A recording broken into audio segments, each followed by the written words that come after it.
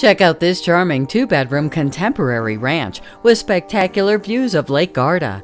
This home features a remodeled kitchen with a granite breakfast bar that opens to the great room and dining area with access to the elevated deck.